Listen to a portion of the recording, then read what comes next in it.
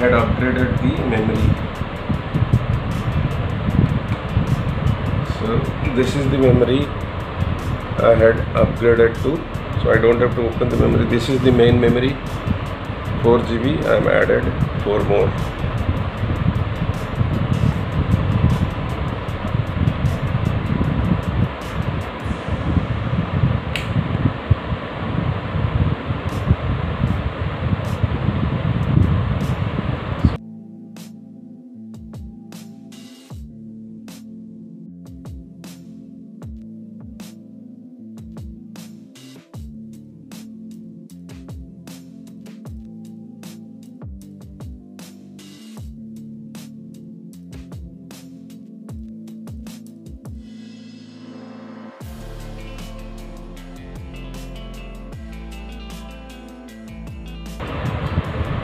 this is the hard disk Toshiba this got failed.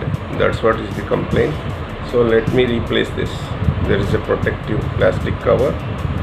I just have to open these screws so that the tray is open. Then I can add this new Hitachi 500 GB